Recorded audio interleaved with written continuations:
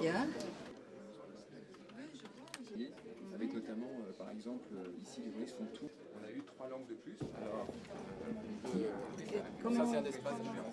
Une analyse de cette actualité, mais aussi de ce désir d'avenir européen est extrêmement important pour créer la conscience de l'Europe, la conscience européenne. Et c'est donc pas par hasard que dans le rapport sur la citoyenneté européenne que j'ai présenté l'année dernière, une des 25 propositions était le renforcement de Euronews.